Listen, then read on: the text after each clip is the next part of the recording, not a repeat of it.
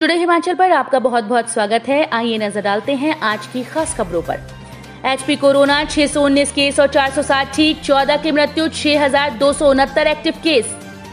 हिमाचल के सबसे बड़े अस्पताल से चोरी हुई ईसीजी मशीन, दो दिन बाद ऐसे पकड़ा गया आरोपी।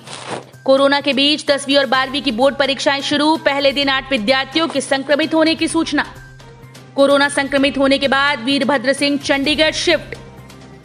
हिमाचल में पुरानी तिथि से नियमित कर्मियों को नहीं मिलेगा जीपीएफ नंबर। पच्चीस सौ रूपए में खेतों को जंगल जानवरों से बचाएगी देसी तकनीक। धर्मशाला मंडी में भाजपा और पालमपुर में कांग्रेस के चुने गए मेयर, डिप्टी मेयर। कार खड्डे में गिरने से पाँच सवार डूबे, दादी पोती का शव बरामद। और इसी के साथ आगे बढ़ने से पहले, अगर आपने अभी तक हमारे चैनल को सब्सक्राइब नहीं किया है तो प्लीज़ टुडे हिमाचल को सब्सक्राइब कर लें। वीडियो थोड़ा सा भी पसंद आए तो वीडियो को लाइक करें और कमेंट बॉक्स में जय हिंद लिखकर हमें अपना सपोर्ट भी करें। चलिए, शुरू करते हैं खबरों का सिलसिला विस्तार से।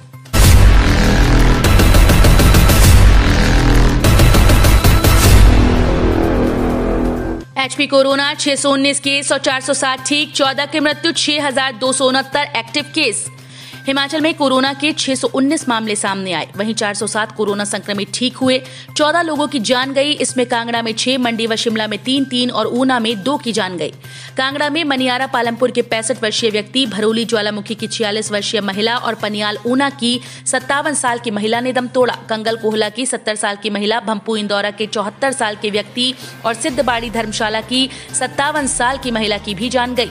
मंडी में पैंसठ, बयालीस साल के व्यक्ति और अड़सठ साल की महिला ने दम तोड़ा शिमला में सत्तर वर्षीय महिला, बावन और अड़तीस वर्षीय पुरुष की जान गई। ऊना में तिहत्तर और अठहत्तर साल के बुज़ुर्ग ने अंतिम सांस ली। हिमाचल में कुल आंकड़ा इकहत्तर हज़ार तीन सौ चौरानवे पहुँच गया। अभी छह हज़ार दो सौ उनहत्तर एक्टिव केस हैं। अब तक तिरसठ हज़ार नौ सौ छियासठ लोग ठीक हो चुके हैं।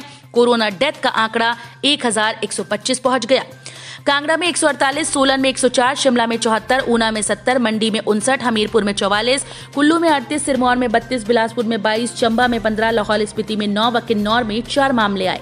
कांगड़ा के 119, ऊना के 55, शिमला के चौवन सोलन के 45, हमीरपुर के 41, बिलासपुर के 35, मंडी के 24, कुल्लू के 17, सिरमौर के 9 व चंबा के 8 ठीक हुए।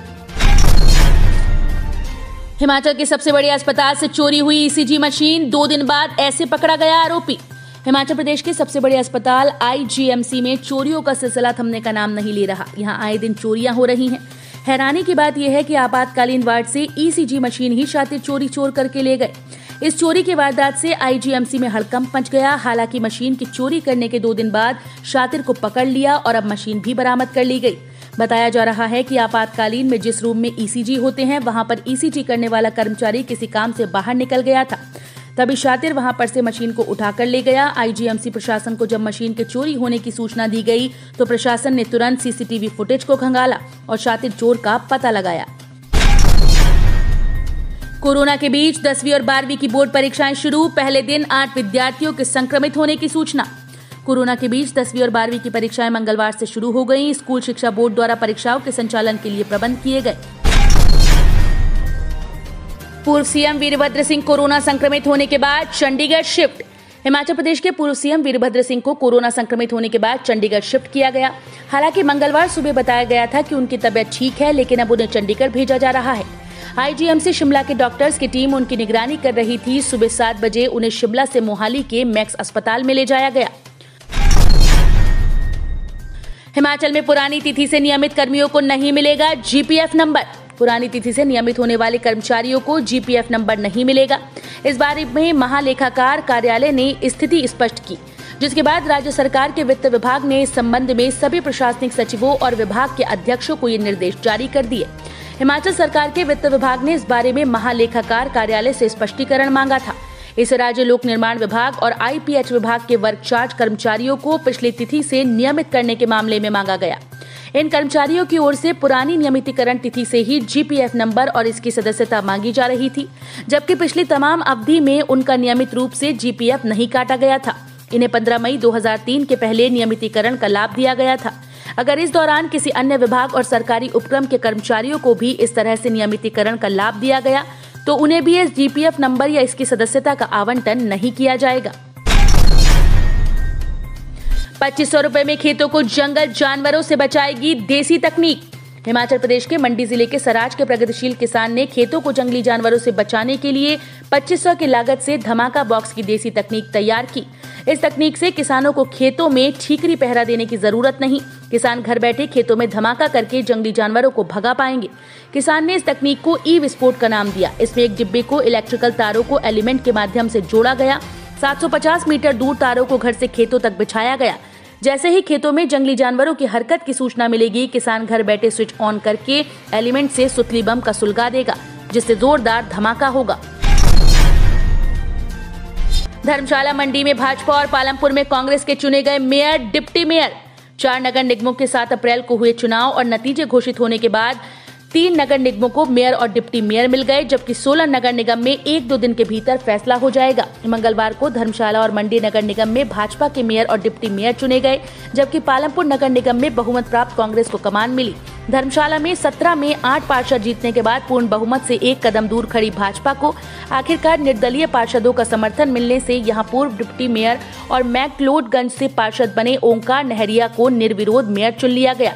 यहाँ उनके सामने कांग्रेस का कोई उम्मीदवार खड़ा नहीं था। कोरम पूरा न होने से सोलन नगर निगम में नहीं चुने मेयर, डिप्टी मेयर, कांग्रेस ने किया हंगामा। नगर निगम सोलन में बहुमत होने के बावजूद कांग्रेस कोरम पूरा न होने से मेयर और डिप्टी मेयर नहीं चुन सकी। मंगलवार को नगर निगम कार्यालय में अतिरिक्त उपायुक्त अनुराग चंद्र शर्मा ने कांग्रेस के नौ पार्षदों को शपथ दिलाई। शपथ समारोह में भाजपा सभी सात पार्षदों के न पहुँचने पर कांग्रेस के बीच चर्चा बनी रही। मेयर व डिप्टी मेयर बनाने के लिए 12 पार्षदों को कोरम पूरा के लिए बैठकों का दौर जारी है। अब 16 अप्रैल को शेष पार्षदों को शपथ दिलाई जाएगी। वहीं नगर निगम कार्यालय में कांग्रेस द्वारा शपथ का प्रोटोकॉल तोड़ने पर एडीसी अनुराग चंद्र शर्मा कार्यक्रम छोड़कर अपने कार्यालय रवाना हो गए, जिसके चलते कांग्रेस नेताओं ने शपथ समारोह में एडीसी के खिलाफ हंगामा शुरू कर दिया। इसमें भाजपा का कोई भी पार्षद नहीं पहुँचा, वहीं करीब बारह बजकर पंद्रह मिनट पर कांग्रेस नेता व पार्षदों की शपथ पर एडीसी ने रोक लगा दी व कार्यक्रम को छोड़ सचिवालय के लिए रवाना हो गए। जिसके बाद कांग्रेस नेता राजेंद्र राणा, विधायक धनीराम शांडे सहित पार्षदों ने कार्यालय में बैठकर एडीसी का विरोध शुरू कर दिया। कार खड्डे में गिरने से पाँच सवार डूबे, दादी पोती का शव बरामद। हिमाचल प्रदेश के मंडी ज़िले के सुंदरनगर उपमंडल की दुर्गम ग्राम पंचायत सोझा के सरूर गाँव के निकट मंगलवार अपराहन चार बजे एक कार करीब 400 फीट गहरी ढांक में लुढ़कने से सौल खड्डे में जा गिरी। इस हादसे में कार में सवार पाँच लोग खड्डे में बह गए। कार में सवार चार लोग एक ही परिवार के सदस्य हैं। इनमें दादी प्रेमा देवी और चार साल की पोती परी का शव बरामद कर लिया गया, जबकि मृतका का बेटा सुरेंद्र कुमार, पोते मोहित कुमार के अलावा चालक प्रेमलाल निवासी, बाली बटाली तहसील निहरी लापता है। पहले नवरात्र पर सभी लोग कार में सवार होकर पांगड़ा स्थित एक मंदिर में जा रहे थे। इसी दौरान रास्ते में कार अनियंत्रित होकर सौल खड्ड में जा गिरी। प्रदेश में महिला सुरक्षा के हो पुख्ता इंतज़ाम, प्रशासन और सरकार को देना होगा जवाब। बीते दिनों एक दर्दनाक घटना सामने आई, जिस पर हिमाचल प्रदेश कांग्रेस के सोशल मीडिया विभाग के चेयरमैन अभिषेक पीड़ित परिवार से भेंट करने पहुँचे और कहा कि इस दर्दनाक हादसे से मैं अत्यंत स्तब्ध पीड़ित परिवार से मुलाकात हुई, जहाँ हमने पीड़ित परिवार का हौसला बढ़ाया। कांग्रेस पार्टी पीड़ित परिवार को हर प्रकार का सहयोग देने को तैयार है एवं इंसाफ की लड़ाई में सदा उनके साथ है। इस सारे प्रकरण में जो सामने आया कि कहीं ना कहीं जनता में भारी रोष है और जनता का कहना है और प्रशासन व सरकार पर इल्ज़ाम भी कि यदि थोड़े से भी जिम्मेदार होते तो शायद आज हिमाचल की ये बेटी जीवित होती। लेकिन प्रशासन की नाकामी कहीं या लापरवाही की एक बेटी ने अपनी जान गंवा दी। राणा ने साफ़ तौर पर अपनी बात रखते हुए कहा कि हमारी संवेदनाएँ पूरी तरह से परिवार के साथ हैं और मैं सभी से अपील करता हूँ कि इसे राजनीति से जोड़कर न देखा जाए। अपितु वर्तमान सरकार को चाहिए कि इस मुद्दे पर खास ध्यान दे एवं बिटिया को इंसाफ दिलाए। हमारी सुंदर देवभूमि हिमाचल समस्त भारत में संस्कृति की मिसाल है एवं हमारे बुज़ुर्ग इस प्रदेश की एक अच्छी छवि छोड़कर गए हैं, जिसे बनाए रखना हम सबका कर्तव्य है। हिमाचल में बारिश बर्फबारी के आसार, दो दिन ओलावृष्टि का अलर्ट। हिमाचल प्रदेश में 18 अप्रैल तक मौसम खराब रहने का पूर्वानुमान है। मौसम विज्ञान केंद्र शिमला ने 13 से 18 अप्रैल तक मध्य व उच्च पर्वतीय कुछ भागों में बारिश बर्फबारी के आसार जताए। वहीं मैदानी व निचले भागों में 15 से 17 अप्रैल तक बारिश की संभावना है। मैदानी व मध्यम ऊंचाई वाले भागों में 16 और 17 अप्रैल को ओलावृष्टि व अंधड़ का येलो अलर्ट जारी किया गया। ऊना, बिलासपुर, हमीरपुर, चंबा, कांगड़ा, मंडी, शिमला के लिए येलो अलर्ट जारी किया गया है। तो ये थी आपके राज्य हिमाचल से जुड़ी हुई आज की ताज़ा तरीन खबरें। अगर आप भी हिमाचल प्रदेश से जुड़ी हुई ऐसी ही खबरें देखना चाहते हैं तो प्लीज़ टुडे हिमाचल को ज़रूर सब्सक्राइब करें और लेटेस्ट वीडियो की नोटिफिकेशन के लिए बेलाइकन को ज़रूर प्रेस करें।